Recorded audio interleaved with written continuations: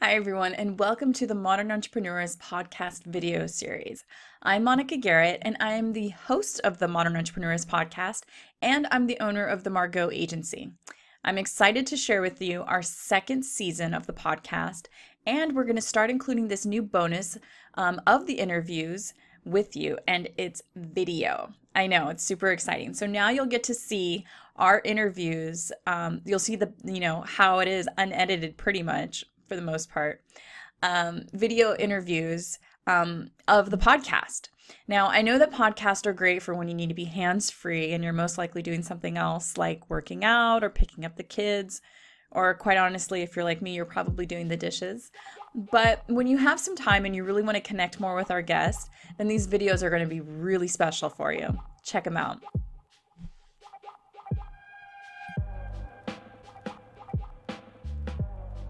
Um, today, my guest is Meredith Marsh. Welcome, Meredith. Thank you for having me. Awesome. I'm super stoked to have you here. Um, and so let's just dive into it. So tell me about your business and what do you do?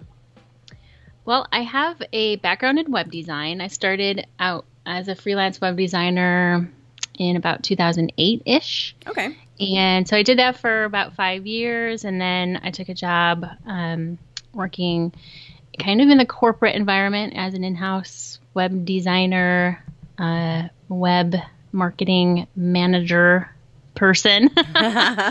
and um, so, yeah, at some point I just thought, man, I have like every single skill that I need to just start my own online business. Mm-hmm. So, what do I need to just get going?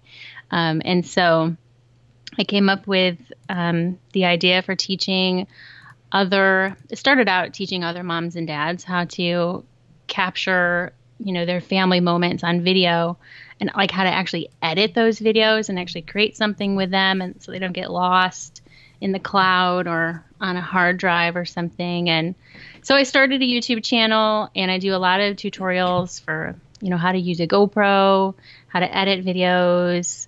Um, and, and stuff like that. And I do still work one on one with clients doing web design and online marketing kind of stuff. Okay, so you have the the main business is is Vid Pro Mom, right? Mm-hmm. Yep. I'm so intrigued that you're a web designer initially. So, so um, let's talk about that first. So you started sure. doing web design. Um, is that what you went to school for, or? Kind of um, landed in it? I didn't really go to school for it. My degree is in multidisciplinary studies, which means a little bit of everything. Yeah. it's like no- nothing slash everything at the same time. um, but I've always enjoyed web design, like, you know, since I was like a kid. Uh-huh. You know, uh-huh. when the internet was like invented. it's always been fascinating for me. And um, so uh, at some point I was like, why don't I just do that for like a job? like, hello. so I kind of, I mostly, I, I just kind of taught myself everything I needed to know, like technical wise, and then um, I just started letting people know that, I, hey, I can make websites, you know, and that, and people started hiring me. So that's kind of how that started. So you started freelancing outside of the the job that you had. I started freelancing like from the beginning. So oh. I freelanced for five years. I live in a really small town. Okay. Where, um, which you wouldn't think is conducive to a freelance web design business, but there weren't any other web designers here. But there's a lot of businesses and nonprofits and. What's the um, town? It's what? called it's Penn Yan, New York. It's nice. a very small town. Sounds like it, yeah. it's cute. a very rural um, community, but it's we're it, we live in the wine region of upstate New York, so there's a lot of travel and tourism kind of stuff going on also. Mm-hmm. Um, so it worked out that there was organizations and businesses that were like, oh, we have a local person who can do website stuff. And uh, I was like, yeah, yeah, we do. Let me know. yeah, nice. So at that point, did you have a website and were just starting your business as a freelancer and get it going? Um, f- yes, I was. I mainly focused on web design at that point. I hadn't thought anything about VidPro Mom or YouTube or anything at that point.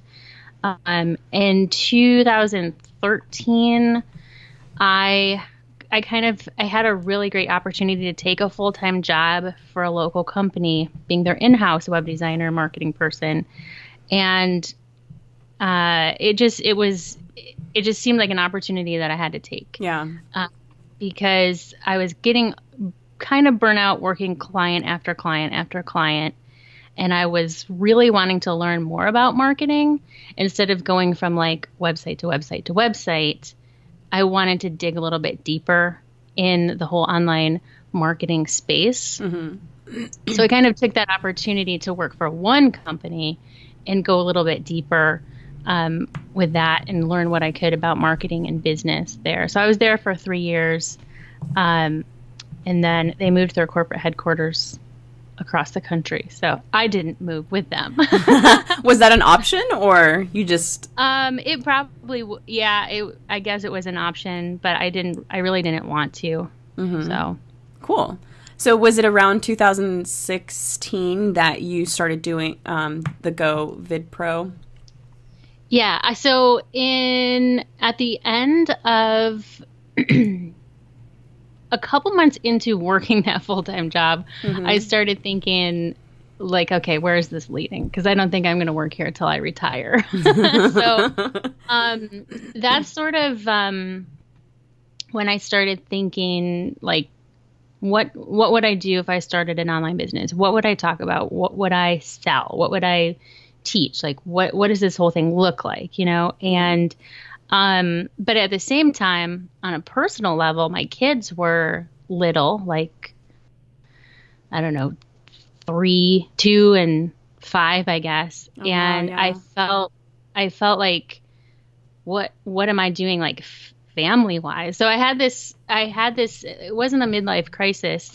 it was some sort of a mom entrepreneur crisis because yeah. I was like, you know, where, what are we, what's, what are we doing here? So yeah. I just happened to have this thought that um, I really wanted to sort of live more intentionally for myself and for my family. And I just had it in my head that I really just wanted to capture the stuff that we do uh, in photos and video. And I like photos and video, like anyway. So mm-hmm. um, I, I I just had it in my head. And then when I bought a GoPro in like December 2013, and I I'm not an extreme sports enthusiast at all, which is like what GoPros are all about.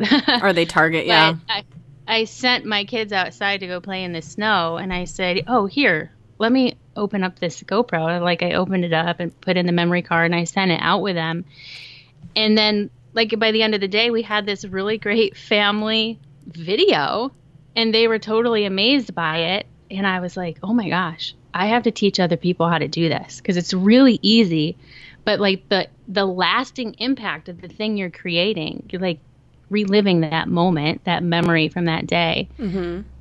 Like until you know the end of time yeah so i loved that idea and it and it just sort of like the personal side and the entrepreneur side just kind of came together and i was like this is what i need to do so i started planning and and like brainstorming scheming how i was going to you know what it was going to is it going to be a blog is it going to be a website is yeah. it like what is it so i spent about probably most of like 2014 really doing a lot of brainstorming for myself mm-hmm. and um, i initially i bought the domain name gopromom.com mm-hmm. um, and i started blogging a little bit and set up my social media networks and stuff with gopro mom as my name mm-hmm. and then um, it wasn't until uh, January 2015 that I started creating regular weekly content.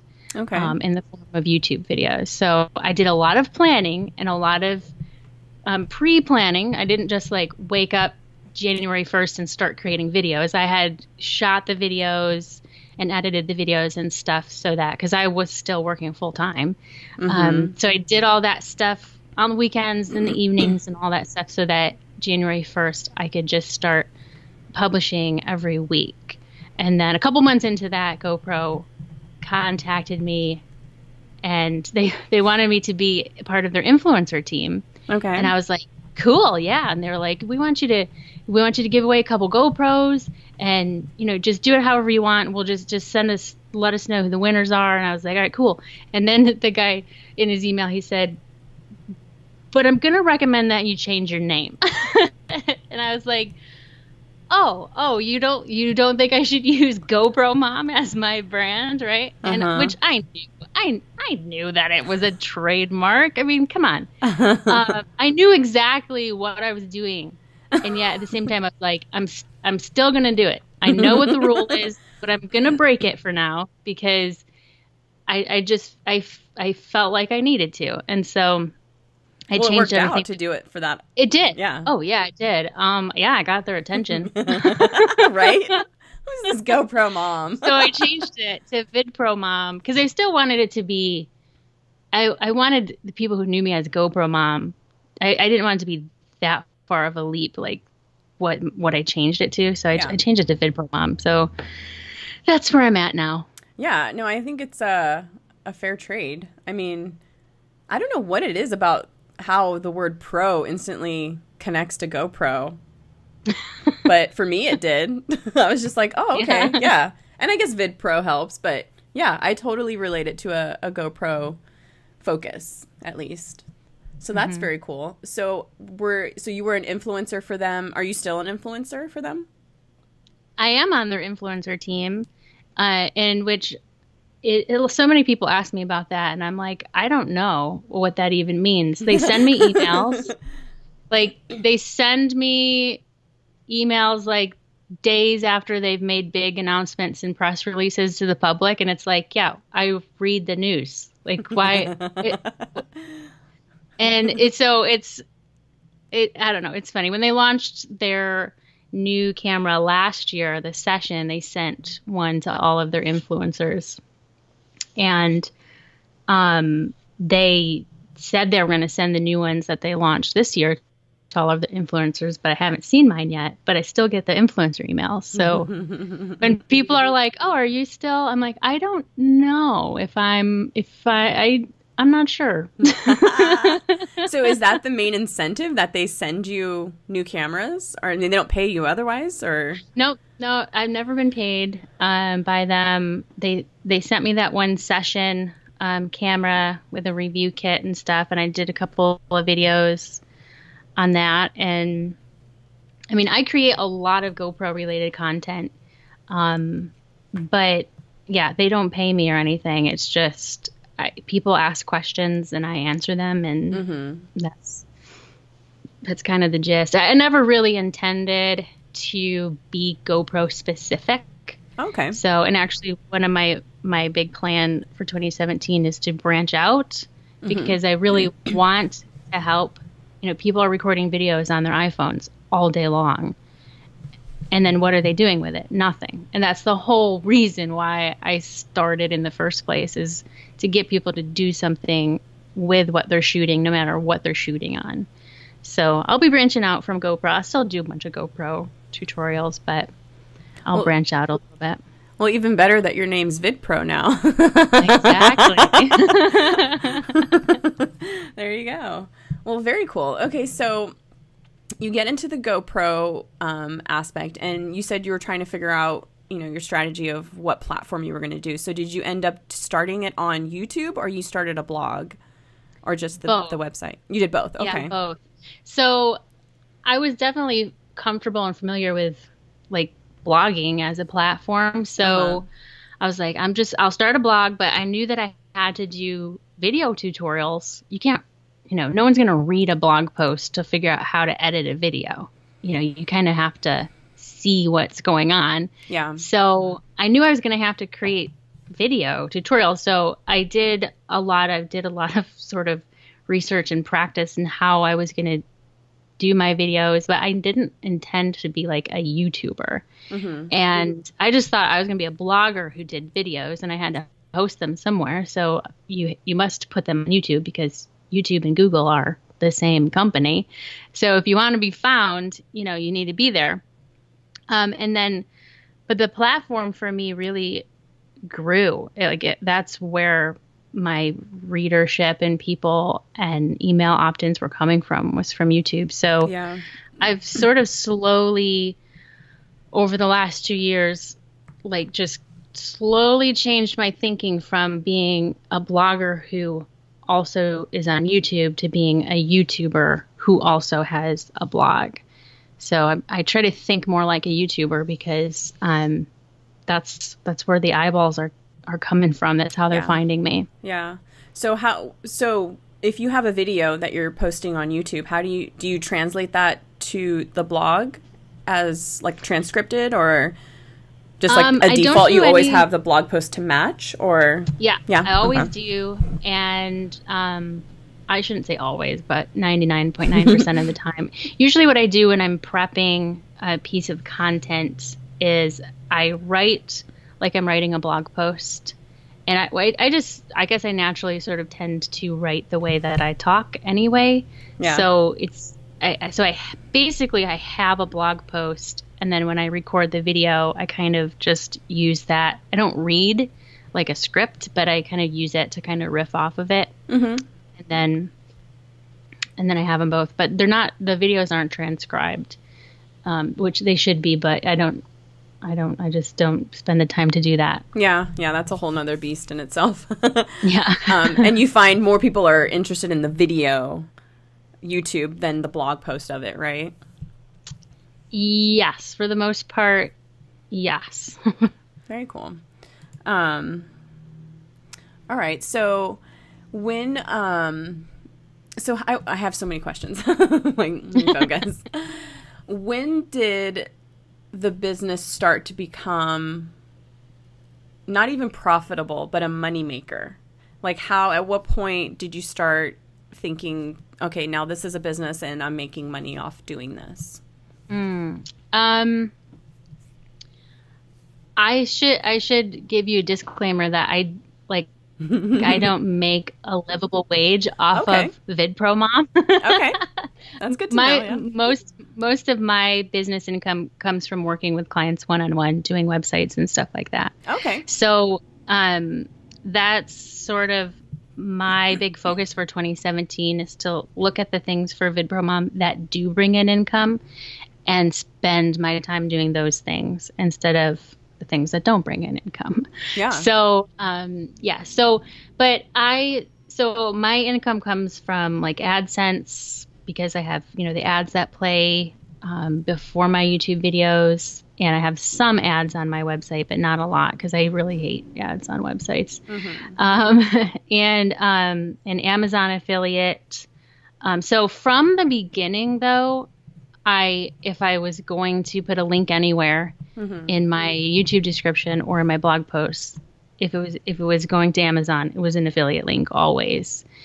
And so um, I've just kind of I've just always kind of had the intention to make money where I could make money um, from the beginning. So, and then, so, but last year, after about, I would say about like nine months into um, posting regularly on YouTube, and, and I was building up my email list the whole time. Um, th- that, I, cause I had the intention from the beginning, like, I should create a course. I should do this YouTube stuff and all that, get people on my email list, and then launch a course because that's Yeah. what everybody does. and they make That's money thing. apparently. That's, that's yeah. what you do. Um, and so that that's when I started thinking like, okay, well, what course am I going to create? And I, so what I did was I created a course for um, how to edit videos in GoPro Studio, which is GoPro's video editing platform, and that's most of like the questions that I was getting from people were on that platform. And it's funny because I m- some of my first videos were tutorials on how to edit in GoPro Studio because I noticed there weren't a whole lot of tutorials on YouTube for that. And the reason I think for that is because it's not that great of an editing platform. Like there's so many options out there. But when people who don't know how to edit videos buy a GoPro, they're automatically like, "Oh, I'll use GoPro Studio." yeah. So um, they they try it out and then they don't know how to use it and then they search Google and then they find me and so it just it cracks me up that like the, nobody was making tutorials because they were like, well, I don't use GoPro Studio. And I was thinking, I don't use it either, but people want to learn about it. So I'm going to start using it and showing them how to, That's how to perfect. use it. Yeah. So, yeah, so I created a course that launched last uh, February ish. Okay. So, um, and then what I I ended up kind of turning that into a master class, so it's not as big of a course. Okay. Um, it's a it's most of the same material, but just condensed down um, into more like bite-sized chunks, kind of. okay. Yeah, I think I'm looking at one right here. You have the GoPro Studio Masterclass, yeah. and that's So, twenty seven dollars. Mm-hmm. Mm-hmm. Yeah. That seems So low. It is. It is. But the course that I launched to begin with was a hundred dollars. Oh, okay. So, um, and it, when I launched it, it, I, it was, it was successful to me, like in my eyes. At the time that I launched it, this was still my like thing that I did on on the weekends and evenings. Yeah. It wasn't my full time job, so um, it was successful to me. But then it didn't sell real well as an evergreen product. It Really? sold really well as a as a launched thing to my list. They were like, "Yeah, we want this," and they bought it. And then, but then, I had a really hard time selling it as people were signing up to my list and getting them into my funnel. And then, Really. so Hmm. yeah, so I just sort of I changed it and adapted it and tried different things, webinars and things like that. Um, and I think I've hit kind of the sweet spot here where it's a smaller course. You're still getting the same, not the same amount of information because I mean you can't take a hundred dollar course and just call it twenty seven dollars and not remove some of yeah, totally. features and benefits. uh, so, uh, so yeah. So, but the great thing is though that I can take the same exact curriculum and create a masterclass for literally any other editing platform. So I have another masterclass for Premiere Elements.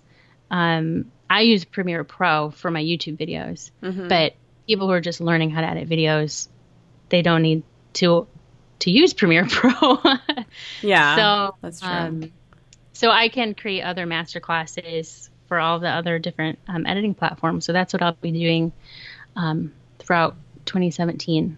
Very cool. So, um, when you say this was successful to you, what does that mean exactly? Like, how many people were on the list to the ratio of how many people bought?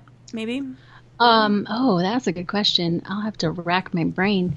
um, I had a, I had, I, I had 996 people on the list because I round up to a thousand. I say it was a thousand, but it was 996.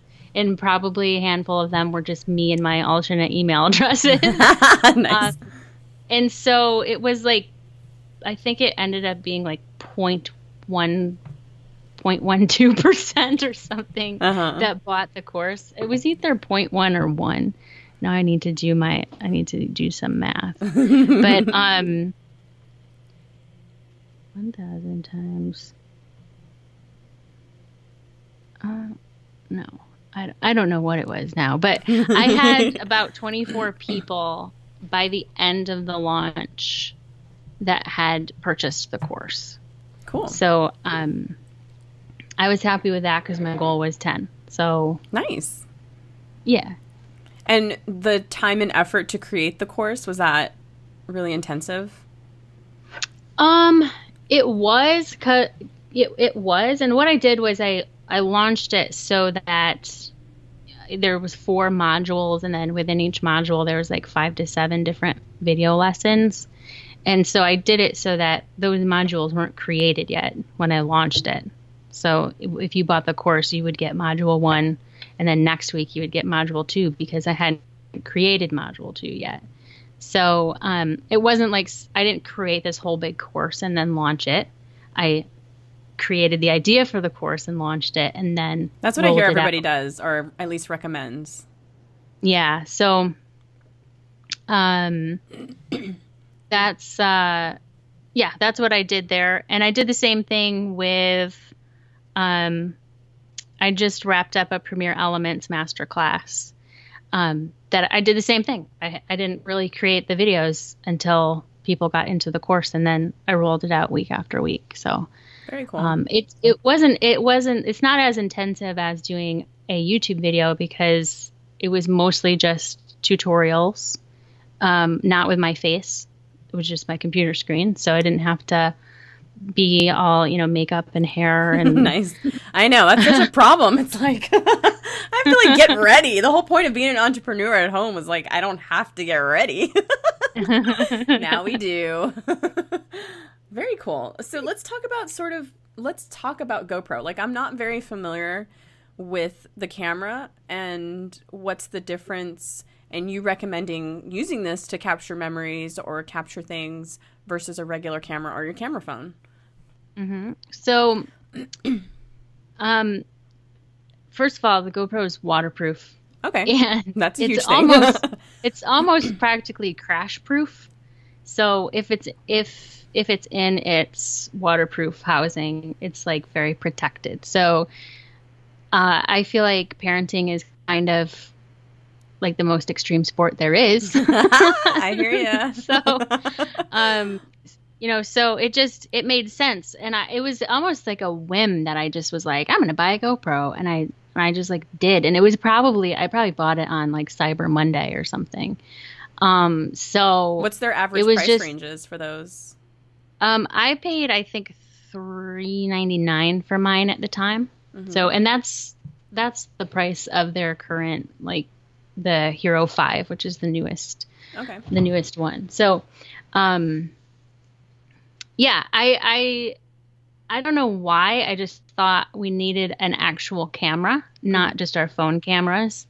Um, and so it, I mean, it worked out. And my, the first time that we used it, when I sent the kids to play in the snow, we got like a foot of snow and it was a Saturday. So it was just like, here, just put your stuff on and go outside and play and I, I went out there and set the GoPro on the bumper of my husband's truck because the kids were like sledding and my older daughter was pulling my younger daughter in the sled. Mm-hmm. And I was like, oh, this will be a good angle. This will be cool. And my older daughter didn't know that the the camera was on the truck because they're small. They're like it's a small camera. Yeah. yeah. Um, she didn't know that it was sitting there recording them, and she walked by and her arm swung. She knocked it off. Had no idea, no idea that it, that she even touched it because she didn't know it was there. And then she dragged the sled over top of the camera in the snow, wow. and it was like, and so I, so I was inside at that point. I came back out. And the camera was not on the bumper of the truck, and I was like, "Where's the camera?" She's like, "What? What camera?" And I'm like, the camera that was sitting here is no longer here. And she was like, I don't know. So I dug in the snow and it was in the oh snow. Oh God. And I was like, oh my gosh, are you kidding me? So I, but it seemed to be fine and it was still recording. So I brought it inside. So when I looked at the footage and I saw what happened, and you can like, you- the camera falls and you can hear the sled going like over top of the camera through the snow. And I just thought, oh, wow. So you can't do that with a cell phone. You can't do that with a fancy DSLR camera or a point and shoot camera. You can only do that with a Go- GoPro camera and still have it survive. Yeah. So I was definitely sold um, at that point, and I was like, "This is this is a great family camera because I can just like throw it at them and say, here, just press Yeah. record." Very so cool. and it's so yeah it's waterproof we throw it in the pool with the kids and um it's it's worked out great yeah, that seems pretty great for families. yeah with kids. Yeah, that's awesome. Um, so my only experience, I want to say at least that I can think of, is that it looks sort of like a fisheye lens. yeah Is that Mhm. standard or is that Yes, like it does- standard GoPro, GoPro look or whatever?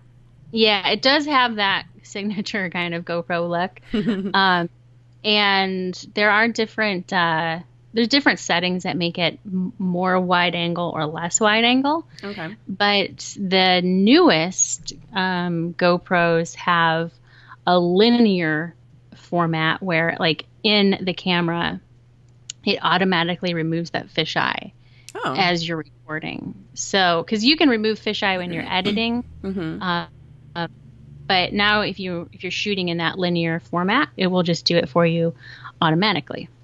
Very cool. So when you give it to your kids to play and stuff, um, do they wear it or do they just hold it or how are they sort of filming the situation? Oh, Both, anything. yeah. um, we have worn it on our heads. Um, we went on a Disney cruise a couple years ago. Uh, we went on two, and, and there's a big slide that goes around like the outside of the cruise ship, and uh, so we wore it on our heads for that. Um, so, which that's actually a good a good tip if you wear it on a water slide where you have like a tube with two people. If you put the GoPro on your head but put it backwards, then you can shoot the person behind you. oh, there you go. So we did that. yeah, we did that.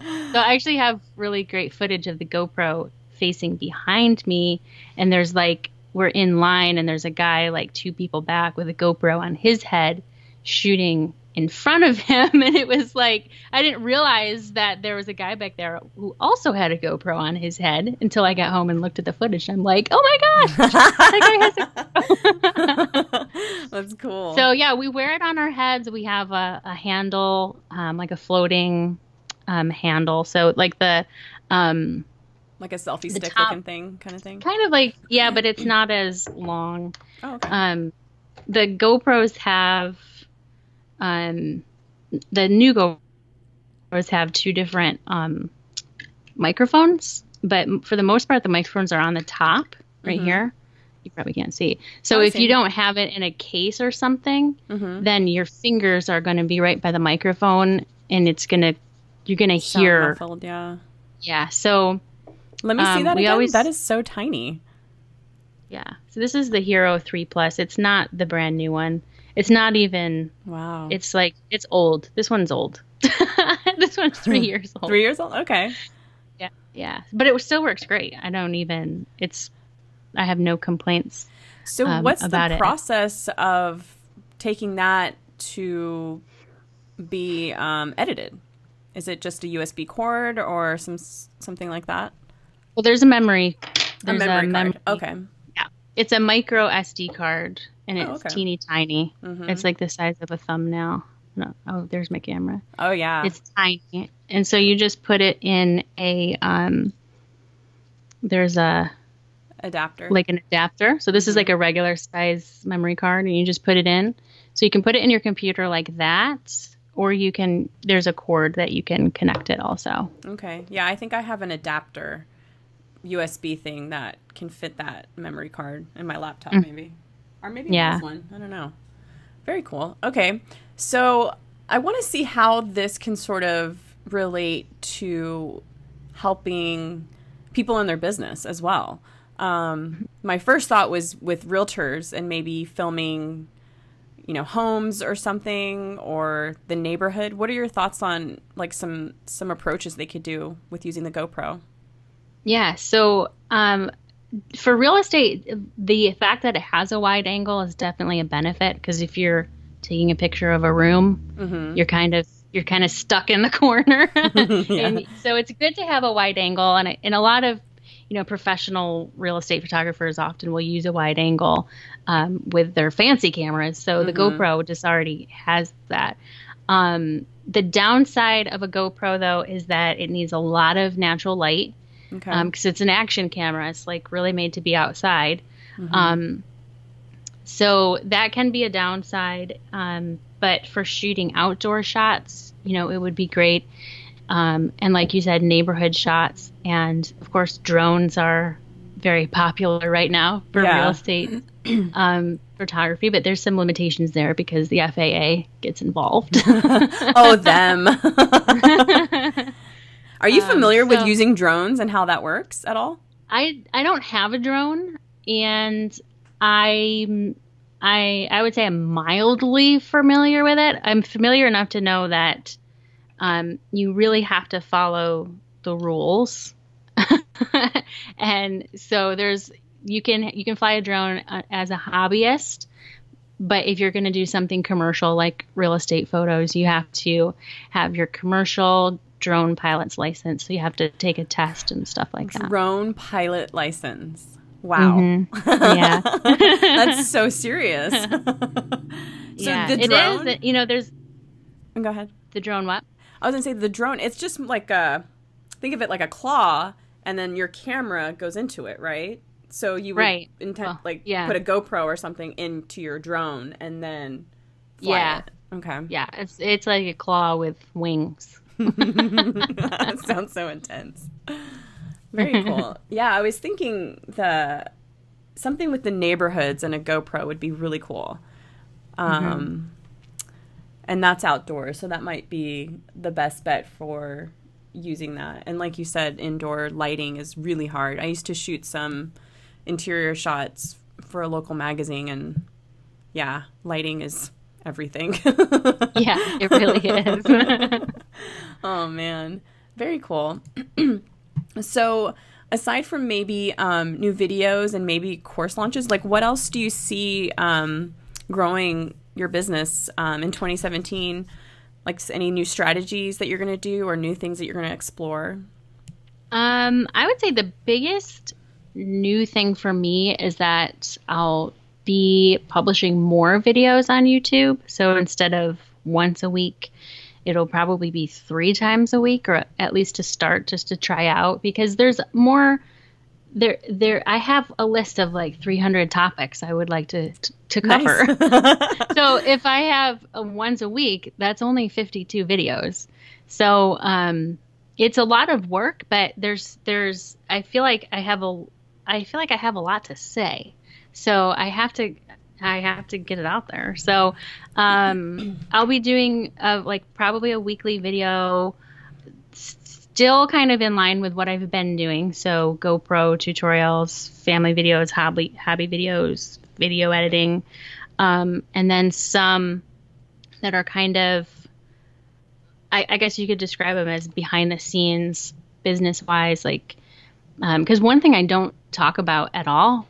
Or that VidPro mom doesn't talk about at all is the whole like online marketing, website stuff, email marketing, like all that really nerdy stuff that I'm doing every day as VidPro mom. I'm but VidPro mom's not talking about it, but I have a lot of people asking me um, about my website and about like this and that and do you use this and what what do you recommend and it's all businessy related kind of stuff. So I'll be doing those tutorials on that and kind of how kind of how VidPro Mom runs, I guess you could say. And then um and I'll probably do more um tech reviews like as it pertains to video related stuff and um and things like that. Like I I mean it's like I have an Apple Watch that I've had for a year Mm-hmm. and it's not related to shooting videos. It's not related to running my business, but I'd like to do a video on like what's my thoughts on using an Apple Watch for the last year. Yeah, that's And, a tech you know, review. Yeah. That's a tech review, and I and so I have to. Sometimes I'm like, but Meredith, you're not a tech reviewer, and I'm just like, yeah, but you could be. Like, there's no reason why you can't. So, Yeah, for sure. And if people Yeah. are interested, then you, there you go. yeah, yeah. Very cool.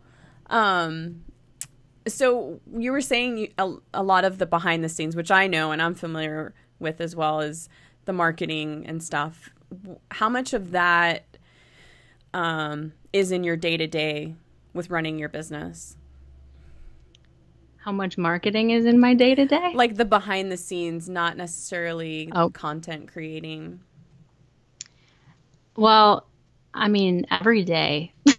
Are you doing this full time for one? I guess is the first question. Yeah, Yeah. yeah. Okay. So, so I know I don't have a full time job anymore. So I do VidPro Mom and you know the website stuff full time. Mhm. Um, so yeah, every every day, every day is is All a day, behind the day. scenes day. cool. What are some of your favorite um or best tools for marketing your business that has worked for um VidPro Mom? tools for marketing my business.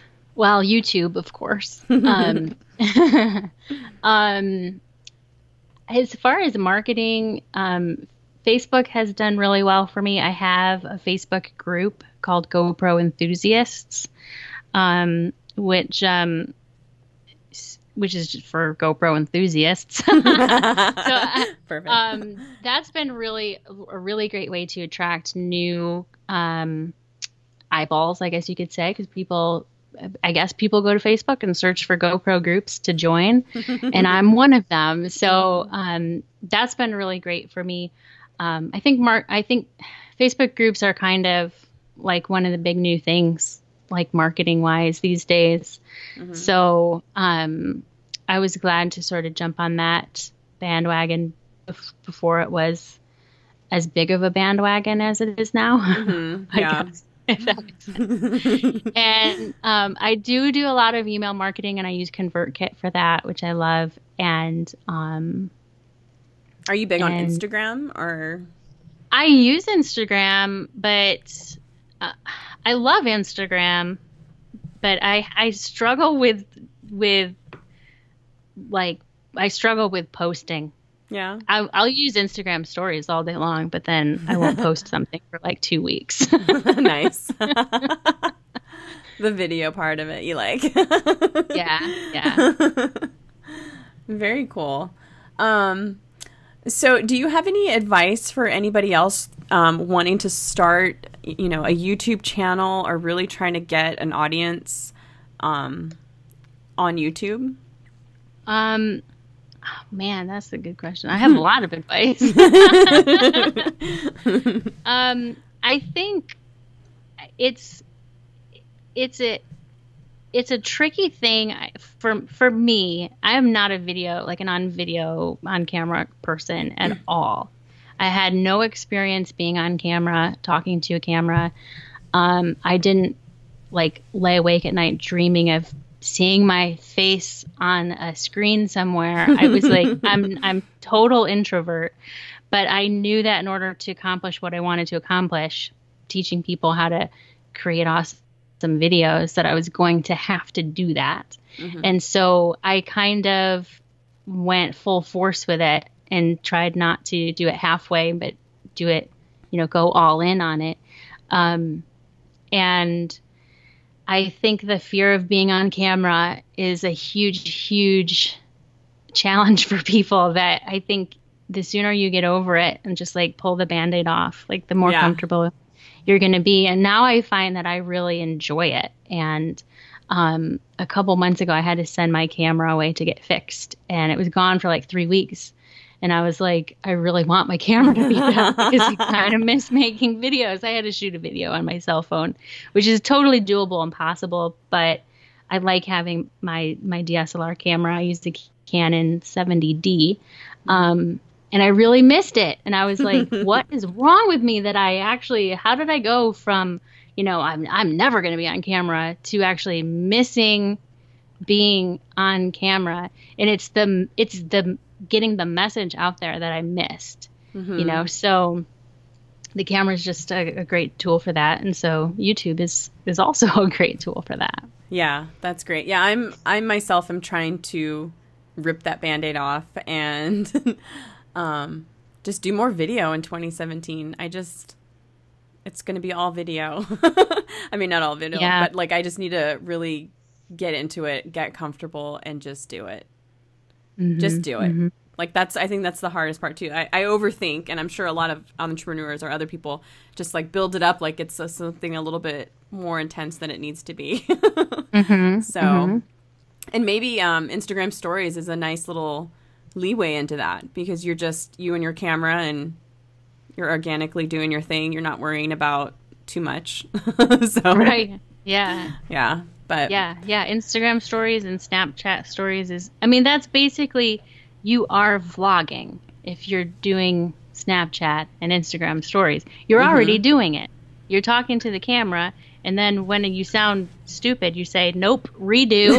I mean, I mean, that's what that's there's a lot of editing that happens in my YouTube videos, um, and that and without it, I, nobody would be like watching my video. but you can you can do all that with you know with Instagram stories and Snapchat stories. Facebook Live is a whole other beast because you cannot edit that as you go. You just have to embrace your weird the way that you just like fumble on your words. Just have to roll with it. and the still shots, you get like three to choose from. It's like, oh man.